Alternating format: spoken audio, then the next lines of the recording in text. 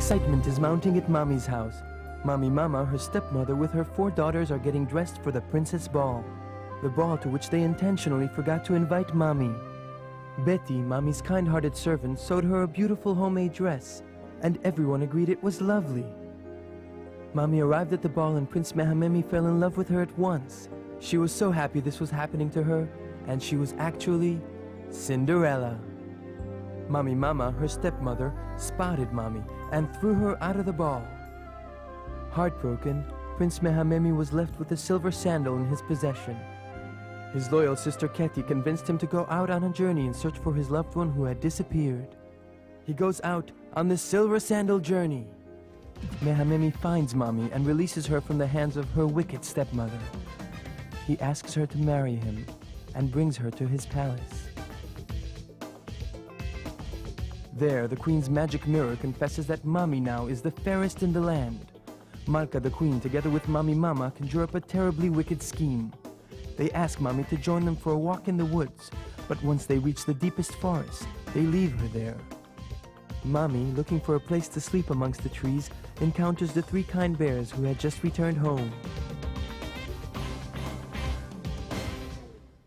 They are very hospitable and invite Mommy to stay with them. They also introduce her to all the creatures in the woods who become her friends at once, just like the story of Goldilocks and the Three Bears. The seven children who lived in the woods were also happy to make her acquaintance. They promised to look after her. They were overwhelmed with her beauty, and she was actually Snow White. Although she had been left for deserted, the magic mirror continued to praise Mommy's beauty. Mommy Mama and Maka the Queen thought of a new plan to get rid of Mommy. They would poison her with an apple. Mommy fell asleep for 100 years, but the old Prince Mehamemi found her and kissed her.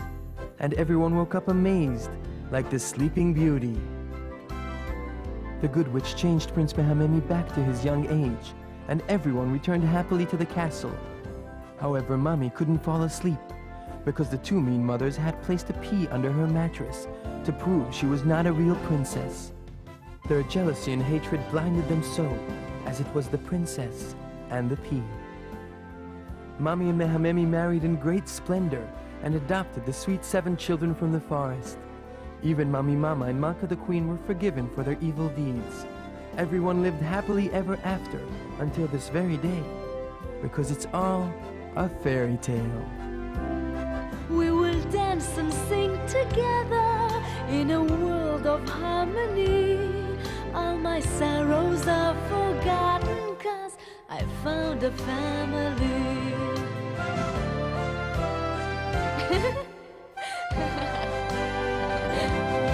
I can barely understand how very lucky I must be when a bear is there to hug you. Everyone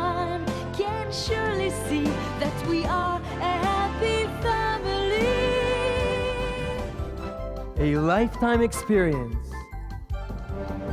An experience for all ages. A professional extravaganza production. Wonderfully directed. Unforgettable music. Shining, glittering, moving, entertaining. A musical that is all a fairy tale.